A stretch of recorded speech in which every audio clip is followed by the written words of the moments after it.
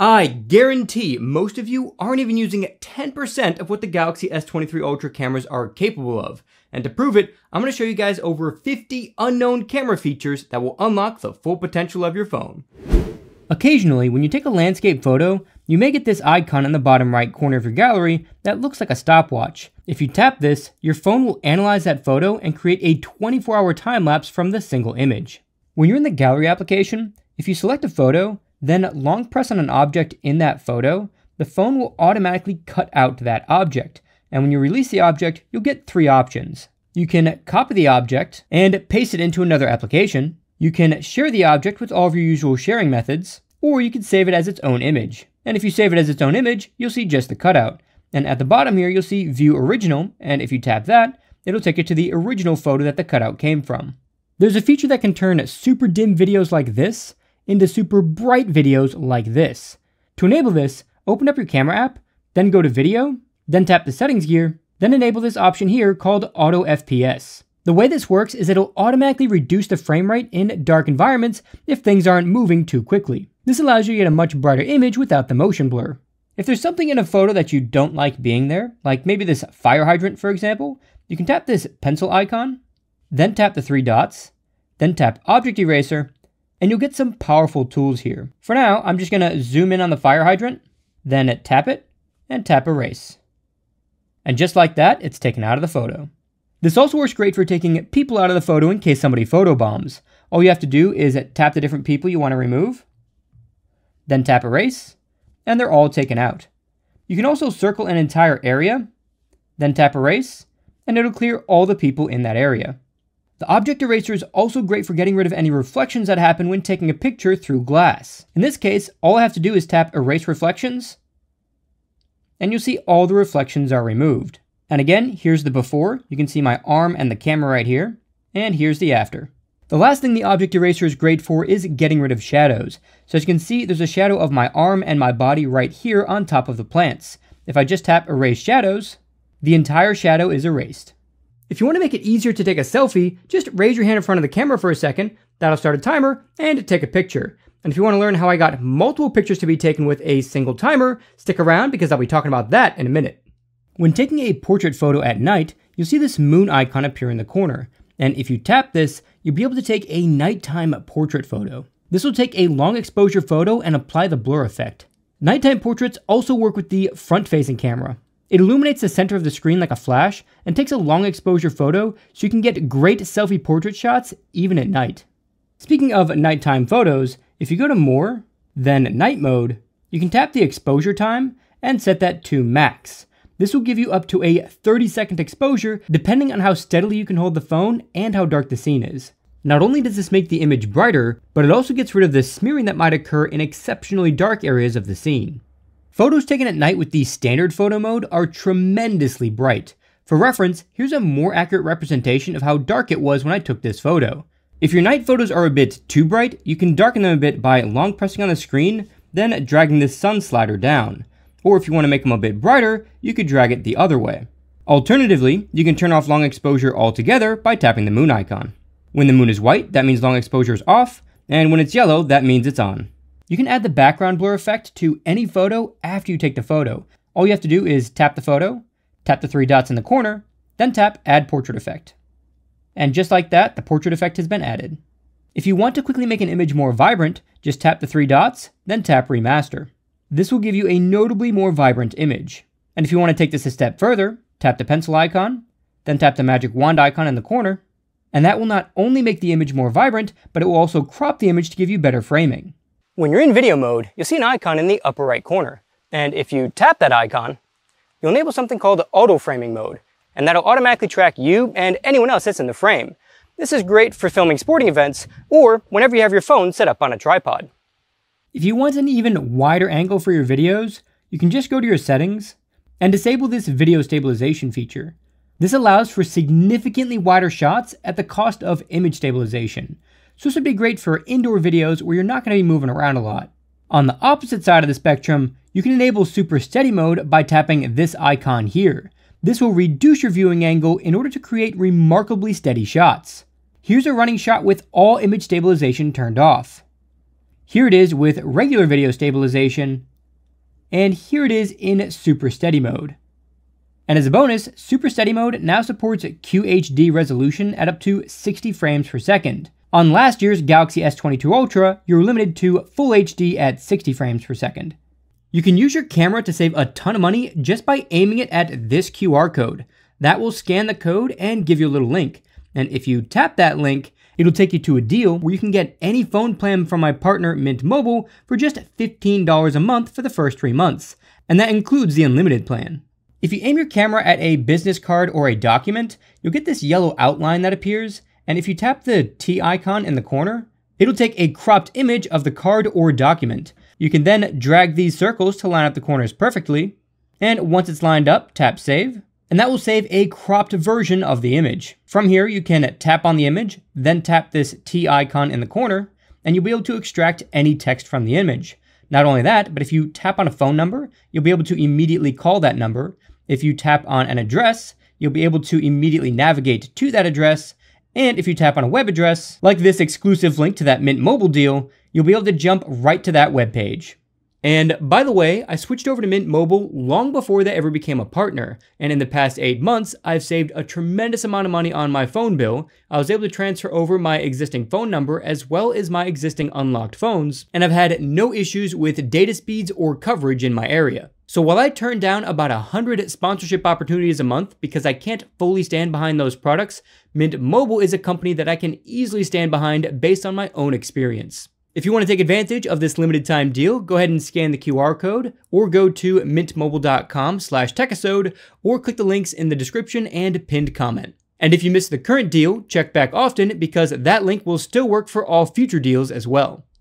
If you go to the More menu in the camera app, you'll see an option called Portrait Video. And if you tap that, you'll be able to apply the portrait effect to video, and with the Galaxy S23 Ultra, you can now do this in 4K resolution with both the front and rear facing cameras. Not only that, but you still get access to this little menu right here. If I tap this, I can switch between the four different blur effects, and I also get access to this little bar right here where I can increase or decrease the amount of blur. The one caveat with this is that it doesn't always work perfectly, and you can't remove the effect once it's applied, so I wouldn't recommend using this for something really important like a child's first birthday. If you go to your camera settings, then scroll down a bit, you'll see an option called Tracking Autofocus. If you enable this, then go back to your camera, you'll be able to tap on an object, and that'll put a yellow box around the object to start tracking it. And the purpose of this is to keep that object in focus at all times. And as you can see, it does an incredible job at tracking the controller. And this will even continue to track when you switch zoom levels. And in case you're wondering, this even works in video mode. If you notice that your skin tone is a bit off when taking selfies, you can tap this wand icon in the corner, then tap color tone, and on the other side, you can change it from natural to warm to see if that helps. If you're taking pictures of something, then suddenly want to start recording as quickly as possible, all you have to do is hold the shutter button, and that'll start recording a video. From here, you can then swipe in towards the lock icon, and that'll lock you into video mode and allow you to use all the different zoom levels. From here, you can also switch back and forth between your front and rear facing cameras, take pictures while filming the video, turn your flash on to help light the area, pause or resume the video, and of course, stop the video. The one caveat when filming a video like this is that you'll be left with more of a square shape for the video, and you'll also be limited to 1920 by 1440 resolution. So if you wanted to film at 4K, you will need to switch to the regular video mode for that. Just as a quick reminder, if you want to get a great deal on the Galaxy S23 Ultra, I have affiliate links with the latest deals in the pinned comment below. So if you want to save some money while also supporting the channel, using those links is a great way to do it. The next thing we're going to do is unlock a powerful hidden camera menu. To do this, we need to go to the Samsung Galaxy Store. Make sure you go to the Galaxy Store and not the Google Play Store because this is only available on the Galaxy Store.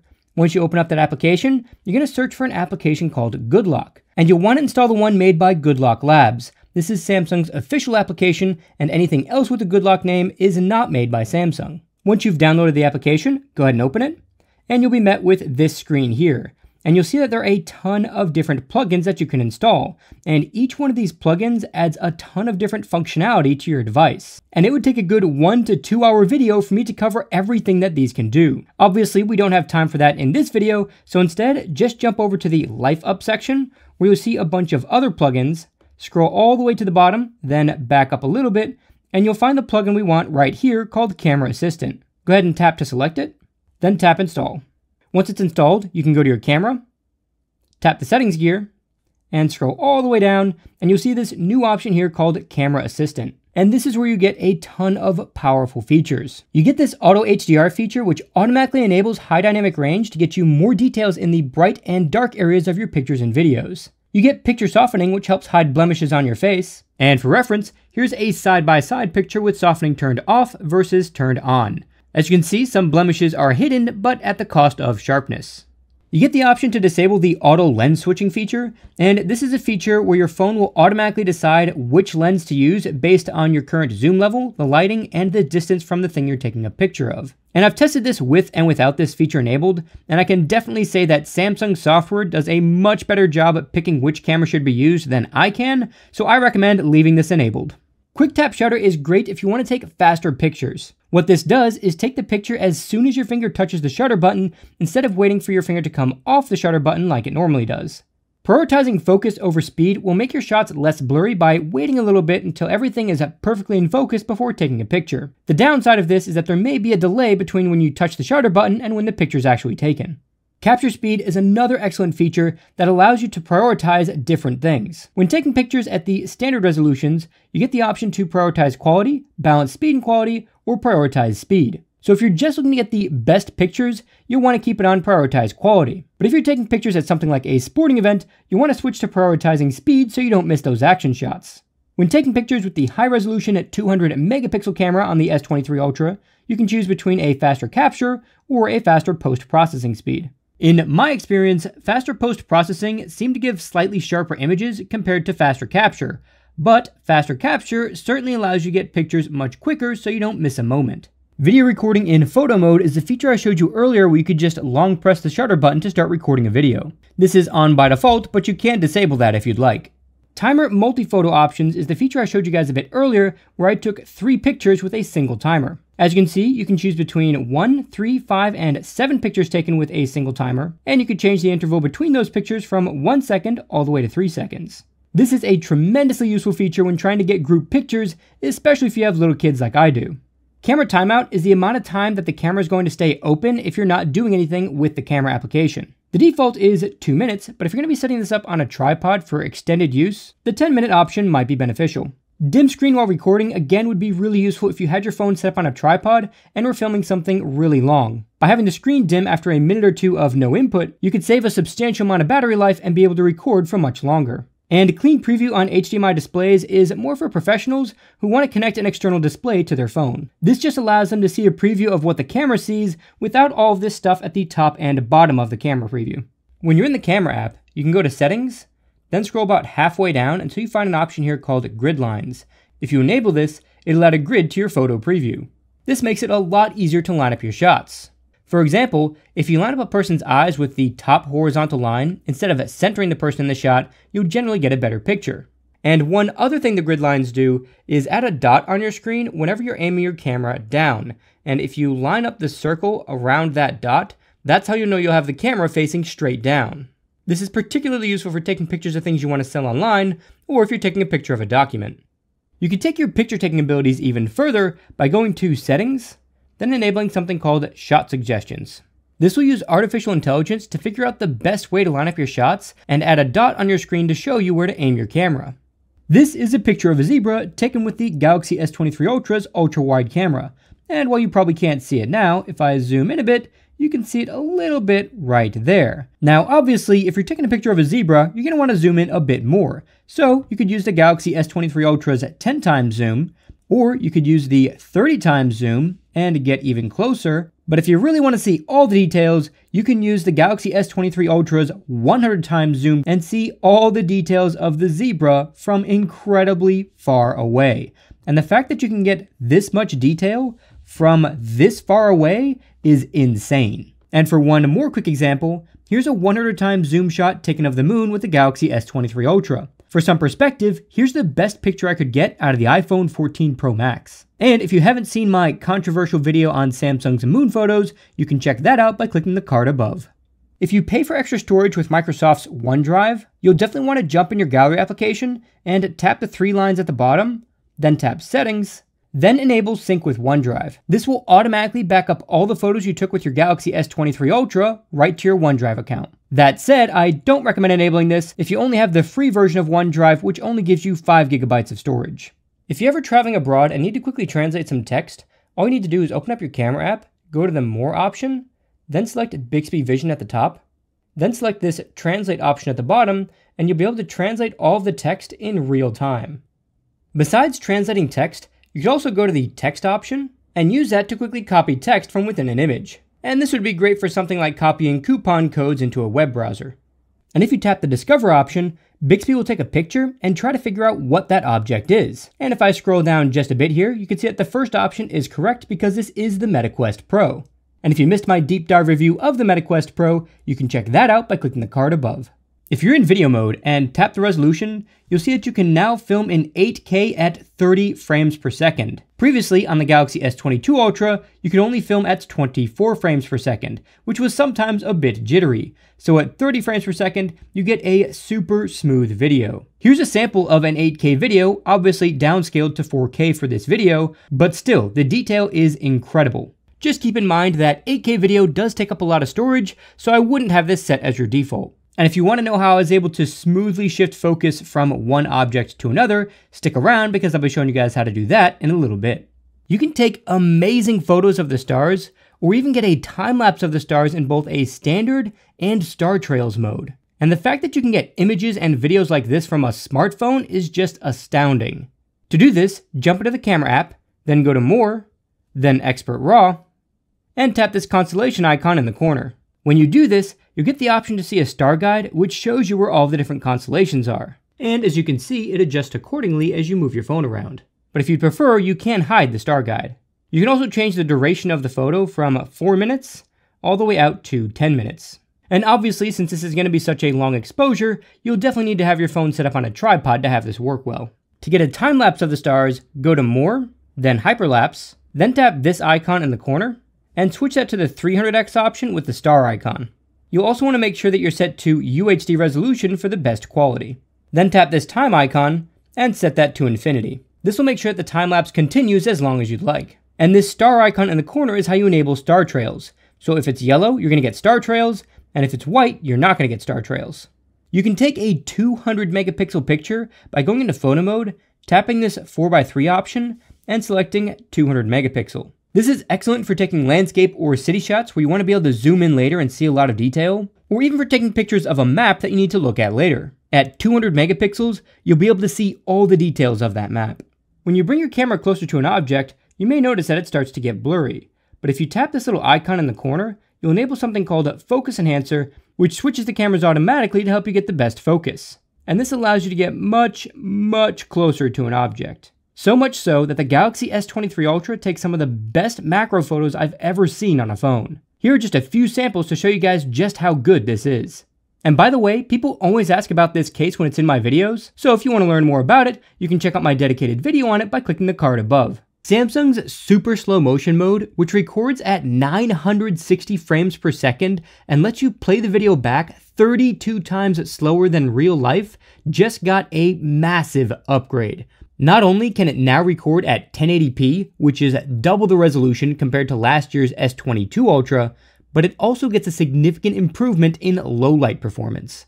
To get to this, go into your camera app, then go to More, and select Super Slow Mo. You also get the option to turn the flash on for better lighting, and you have the option to either manually start a recording, or if you tap this icon in the corner, you'll get this little box here and it'll automatically start recording when motion is detected within this box. This box can be moved around to different parts of the screen and even resized. And this automatic recording option is really important because you only get about one second of record time once you hit that record button. So having it start automatically is a great way of making sure you don't miss your shot. If you use one of the modes in the More section frequently, you can just long press the mode and drag it down to the bottom to have quick access to it. You could also rearrange the modes down at the bottom by dragging them around, Or if there's a mode that you don't want at the bottom, you can long press it and drag it back up into this menu. And when you're done making your changes, just tap save. If you go to the camera settings, then swipe all the way to the bottom, you'll see this option called settings to keep. And if you tap this, you can choose which settings to keep active when you close and reopen the camera app. So if you prefer to always open up the camera app in video mode, you can enable this camera mode option, then select video mode in the camera. So now if you leave the camera app, then close out of it, then reopen the camera app, you'll still be in video mode. And this also works for keeping your selfie angle settings, your picture resolution settings, your filters, whether or not super steady mode is enabled, and even your portrait zoom. If you want to make it easier to hold your phone while taking pictures, just drag the shutter button towards the middle. Now you can move it around wherever you'd like. And this allows you to get a much more secure grip on your phone versus something like the usual claw grip. Now this feature is not on by default. To enable it, just go to settings, then scroll down until you see an option called shooting methods and tap that. Then enable this feature here called floating shutter button. You probably already know that you could take a picture with your S Pen by just pressing the S Pen button, but you might not know that you could switch cameras by holding the S Pen button down and swiping up, switch modes by swiping left or right, or zoom in by drawing a clockwise circle while holding the S Pen button, and it'll continue to zoom in as long as you hold that button. And you can obviously zoom out by drawing a counterclockwise circle. And again, whenever I release the button, it'll stop zooming out. And if you ever forget what the gestures are, you can just hover your S Pen over the Air Actions icon, and you'll see a list of all the shortcuts. And you can even change these shortcuts by tapping the Air Actions icon, then tapping the pen at the top, then tapping one of the shortcuts. Now just tap the function you want, and you're done. If you want to see a bunch more incredible S Pen features, you can check out my dedicated video on the S Pen by clicking the card above. If you took a picture and accidentally had some sensitive information in it, like a credit card number, then you went to share that image, you'll get a warning telling you that that image may contain sensitive information. If you zoom in past 20 times zoom, you'll see a box appear in the corner. When this box turns yellow, it means that your shot is being stabilized to make it easier to get a crisp image. This also makes it a lot easier to track moving objects that are far away. When you zoom in on a photo, you'll see an icon appear in the corner, and if you tap it, you can quickly crop that image to that size and save a copy of it. So now if I swipe over, I can see the cropped version. You can also do this with video. Just zoom in to wherever you'd like, scrub across until you find the frame you'd like to capture, then tap the icon, and a screenshot will be saved. And this is especially useful for taking screenshots out of 8K videos because a single frame from an 8K video is a 32 megapixel image. If you long press the camera app icon, you'll get a few different shortcuts. And if you long press one of those shortcuts, you can drag that shortcut down onto your home screen and keep it there permanently. This is excellent if you frequently take selfies, portraits, or record videos instead of using the regular camera. These shortcuts allow you to jump straight into that camera mode and save you a little bit of time. If you tap the More option while you're in the camera app, you'll see another option called Director's View, and if you tap this, you'll be able to record with both the front and rear facing cameras at the same time. And this is something I did just recently at the zoo so I could see my one year old's reaction to the animals he was seeing. You also get a lot of customization options with this mode. For starters, you can move that camera preview around wherever you'd like, and if you double tap the preview, you'd be able to make it bigger or smaller. And by default, this video is going to save with the camera preview exactly as it's shown. So you see both the rear camera and this front-facing camera at the same time. But if you tap this middle icon here, you can save it as two separate video files. And if you tap this arrow on the side, you'll be able to see your other three cameras, and if you tap those, you can switch to those different cameras. However, you cannot pinch to zoom in this mode. And if you tap this rotation icon next to the record button, you'll be able to switch the front and rear cameras. So now the front facing camera is going to be large and the rear facing camera is going to be small. And if you tap this other icon in the corner, you'll be able to switch to a split screen view instead. And in case you're wondering, tapping that rotation icon while in split screen view will just switch which side the preview's on. When you go to the More menu, you'll see two different Pro modes. You get a Pro Camera mode, and this gives you manual control over things like your focus, white balance, exposure, your shutter speed, and even your ISO. And that's all pretty useful, but if you back out of here and go back to the More menu, then go to Pro Video mode, this is where the magic happens. If I scroll up on the right here, I get this zoom option, and this lets me zoom in and out at a constant rate depending on how far I drag the slider. The mic option lets me choose which microphone I want to use. So if I have a Bluetooth headset connected, I could use that as the microphone. I could use a USB microphone, or I could use a Bluetooth headset and the camera's microphones at the same time. I can choose gesture capture audio coming towards the back of the phone, just audio coming towards the front of the phone, or audio from both the front and rear. And this bar here lets me increase or decrease the audio levels. The focus option is incredible because I can drag this bar on the side and slowly rack focus from things that are really close to things that are really far.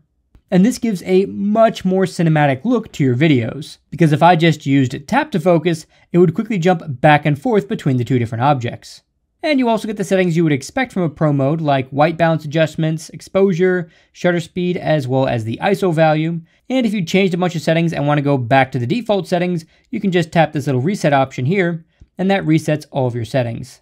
In the corner, you'll see your left and right audio levels, and in the other corner, you'll see this little icon here. If you tap this icon, you'll be able to see a histogram. And even at 8K, I still get access to all of these controls. And when you're filming in lower resolutions, you'll get this option in the corner. And if you tap this, you'll be able to change your contrast, highlights, shadows, saturation, and even your tint in real time. And all of those effects will be applied as you're filming the video. And if you want things to look even more cinematic, you can change the aspect ratio to 21 by 9. So if you want the best possible video out of the Galaxy S23 Ultra, or if you want to get a really cinematic video, you'll definitely want to try out Pro Video mode. If you want to quickly take a burst photo, just drag the shutter button down and hold it there as long as you'd like. And this allows you to take up to 100 burst photos. And when you go to review your burst photos, if you tap this icon in the corner, you can go through each and every photo and select your favorite one. Once you found the one you like, tap the photo, then tap the crown icon, and that will be the photo that's previewed. If you switch to video mode, then go to the camera settings, you'll see an option here called Advanced Video Options. And in here, you'll see an option at the bottom called 360 Audio Recording. What this does is allow you to capture audio in 360 degrees. That means that when you play the video back with headphones on, you'll be able to tell if something is in front of you, behind you, above you, below you, or to the sides. Besides enabling this feature, you also need to connect a pair of Galaxy Buds 2, Galaxy Buds Pro, Galaxy Buds 2 Pro, or newer Galaxy Buds to your phone. And once you have your Galaxy Buds connected, you'll see this 360 mic text in the corner, letting you know that you'll now be recording with 360 degree audio. And while I can't fully demonstrate the 360 degree effect in this YouTube video, have a listen to how good the sound quality is of the rain hitting my hood in this video.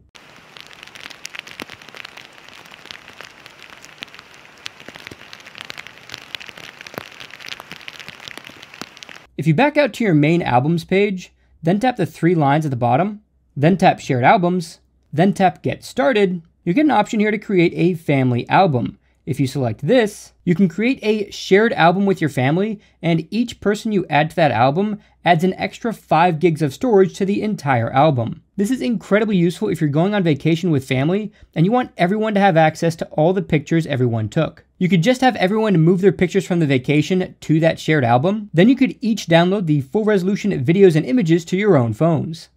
If you go to the camera settings, then scroll about halfway down, you'll see an option called Location Tags. This will add location information directly into your photos and videos. And if you have this enabled, then go to your gallery, and then tap these three lines right here. You'll be able to sort by location and see all the pictures taken at specific locations.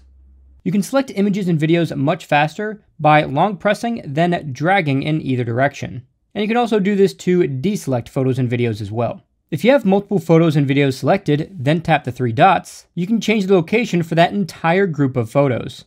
And if you tap this create option, you'll be able to create a highlight reel from all of the videos and images you selected. If you do this, your phone will automatically figure out what the best parts of all of the images and videos are and put those together in a short video.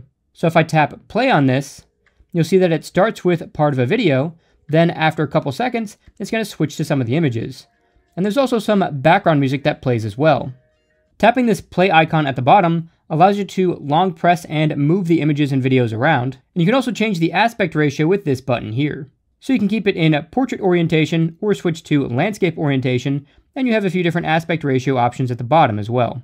If you tap this center icon, you'll be able to add an intro title to the video. And if you tap this music icon, you can change the background music volume, the overall video volume, and even choose different background music. The last option is to add a filter to the video. If you thought these features were incredible, check out this video here where I show you guys the top 25 basic yet powerful Samsung features that most people don't even know. And don't forget to subscribe and turn on notifications because there's more deep dive Galaxy S23 Ultra coverage coming up real soon. That's it for this Techisode. God bless guys and I'll catch you in the next one.